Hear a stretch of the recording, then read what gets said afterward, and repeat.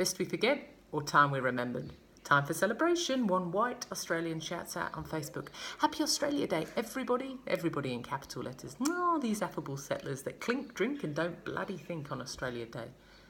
Best we forget or time we remember. This self proclaimed ambassador don't say a word of the black brilliance or resilience through massacre on massacre committed by my British ancestors that occurred in the making of this black and white film, Australia we forget. Because when she says that that ain't right, she means to say that that ain't white.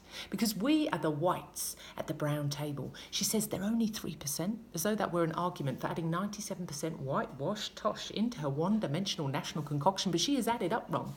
There are three kinds of Australians those who acknowledge truth, those who stuff it under the carpet, and those who have not yet been introduced. And as she bites down into that Lamington cake, she stops herself from having to make the ironic conclusion yellow, brown, black, white futures now are all inseparably bound by historical, metaphorical cream and jam cement. Australians wanting to reconcile when truth make up much more than 3%.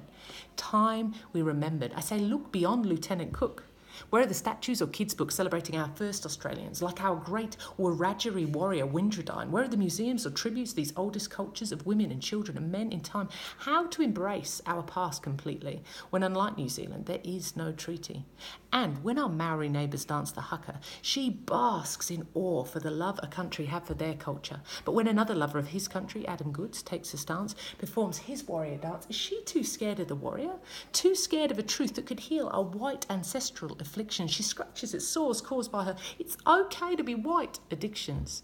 Too scared to acknowledge the past, she buries as a mystery 60,000 years of Earth's greatest living history.